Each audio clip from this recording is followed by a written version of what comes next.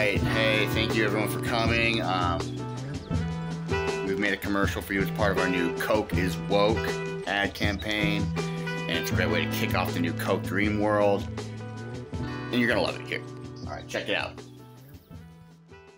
I have a dream that one day on the red hills of Georgia, sons of former slaves and the sons of former slave owners will they be able to sit down together at the table of brotherhood. I have a dream that one day, even the state of Mississippi, a state sweltering with the heat of injustice, sweltering with the heat of oppression, will be transformed into an oasis of freedom and justice. I have a dream.